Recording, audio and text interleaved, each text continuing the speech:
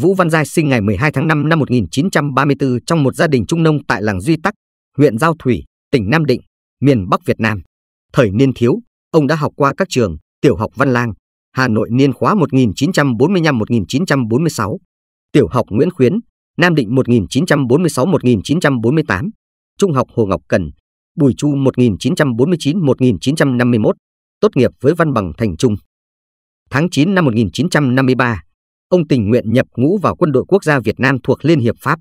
Theo học khóa 10 Trần Bình Trọng tại trường Võ Bị Liên quân Đà Lạt, khai giảng ngày 1 tháng 10 năm 1953 thuộc trung đội 15 khóa sinh do thiếu úy Nguyễn Bá Thìn làm trung đội trưởng. Ngày 1 tháng 6 năm 1954 mãn khóa tốt nghiệp với cấp bậc thiếu úy hiện dịch. Ra trường, ông tình nguyện gia nhập đơn vị nhảy dù, theo học khóa căn bản binh chủng tại Trung tâm huấn luyện nhảy dù trong thời gian một tháng.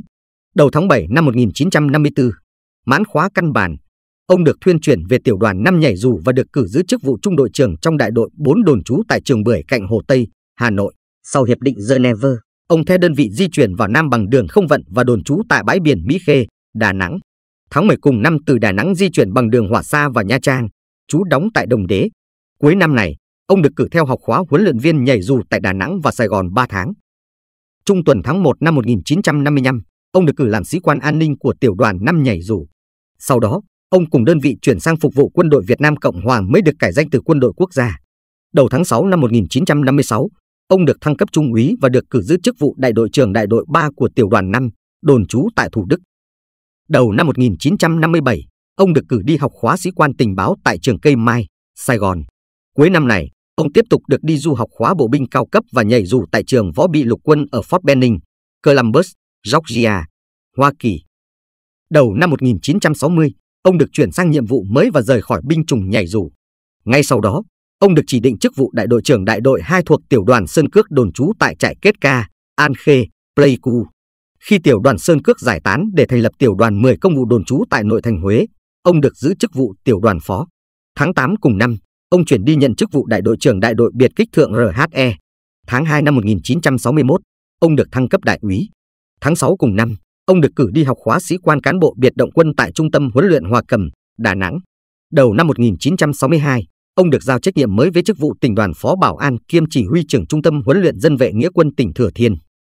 Sau cuộc đảo chính Tổng thống Ngô Đình Diệm ngày 1 tháng 11 năm 1963, ông được cử làm chỉ huy trưởng lực lượng đặc biệt khu 11 chiến thuật tại Huế. Sau đó làm trưởng trại lực lượng đặc biệt tại Khe Xanh. Đầu năm 1964, ông được chuyển về sư đoàn một bộ binh giữ chức vụ trưởng phòng 2 tại Bộ Tư lệnh sư đoàn thay thế đại úy Nguyễn Văn Điểm. Thời điểm này tư lệnh sư đoàn một bộ binh là thiếu tướng Nguyễn Văn Chuân. Đầu năm 1965, ông được cử làm phó tỉnh trưởng Nội An kiêm tiểu khu phó Quảng Nam. Ngày Quốc khánh đệ nhị Cộng hòa 1 tháng 11 cùng năm, ông được thăng cấp thiếu tá và được cử đi du học khóa tình báo cao cấp tại trường Fort Holabiers, Baltimore, tiểu bang Maryland, Hoa Kỳ. Đầu tháng 3 năm 1966 mãn khóa, về phục vụ tại Trung tâm Quân báo thuộc Bộ Tổng Tham mưu. Ngay sau đó chuyển ra đơn vị bộ binh ông được chỉ định làm biệt đội trưởng biệt đội 6 quân báo cảnh phòng 2 tại Bộ Tư lệnh Sư đoàn 25 bộ binh do chuẩn tướng Phan Trọng Trinh làm tư lệnh sư đoàn. Tháng 6 năm 1966, ông tuyên chuyển ra quân khu 1 và được cử giữ chức vụ trung đoàn trưởng trung đoàn 2 thuộc sư đoàn một bộ binh kiêm biệt khu trưởng biệt khu giới tuyến, đồn trú tại Đông Hà, Quảng Trị thay thế thiếu tá Lại Văn Khuy. Ngày quân lực 19 tháng 6 năm 1967, ông được thăng cấp trung tá tại nhiệm. Đầu tháng 2 năm 1969, ông được thăng cấp đại tá tại nhiệm. Tháng 6 cùng năm, ông được cử giữ chức vụ phụ tá hành quân cho tư lệnh sư đoàn một kiêm chỉ huy trưởng bộ chỉ huy tiền phương sư đoàn tại Ái Tử, Quảng Trị. Đầu năm 1970, ông chính thức được được cử vào chức vụ tư lệnh phó sư đoàn một bộ binh. Trong suốt thời gian phục vụ ở sư đoàn một bộ binh, ông đã trải qua hai vị tư lệnh sư đoàn là thiếu tướng Ngô Quang Trường tháng 6 năm 1966 đến tháng 8 năm 1970 và thiếu tướng Phạm Văn Phú tháng 8 năm 1970 đến tháng 11 năm 1972. Trung tuần tháng 4 năm 1971, ông được thăng cấp chuẩn tướng tại nhiệm. Ngày Quốc khánh 1 tháng 11 cùng năm, ông được bổ nhiệm làm tư lệnh đầu tiên của sư đoàn 3 bộ binh Tân Lập, bộ tư lệnh đặt tại căn cứ Ái Tử, Quảng Trị. Đầu tháng 5 năm 1972, sau khi sư đoàn 3 bộ binh dưới quyền chỉ huy của ông bị tan hàng tại phòng tuyến Quảng Trị, ông bị cách chức tư lệnh sư đoàn 3. Đại tá Ngô Văn Trung, phó tư lệnh được cử phụ trách tư lệnh sư đoàn trong thời gian tái trang bị, bổ sung quân số và chờ bổ nhiệm tư lệnh mới.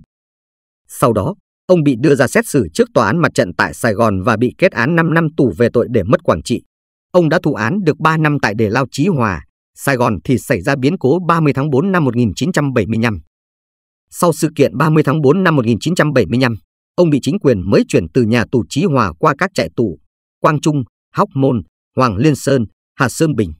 Đến ngày 9 tháng 9 năm 1987 ông mới được trả tự do. Ngày 3 tháng 3 năm 1990, ông cùng gia đình xuất cảnh theo diện HO do chính phủ Hoa Kỳ bảo lãnh và định cư tại Stanton, Nam California, Hoa Kỳ. Ngày 13 tháng 10 năm 2012, ông từ trần tại Garden Grove, cũng thuộc miền Nam California, Hoa Kỳ, hưởng thọ 78 tuổi.